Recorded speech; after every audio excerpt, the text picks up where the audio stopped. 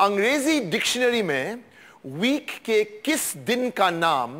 सबसे अंत में आता है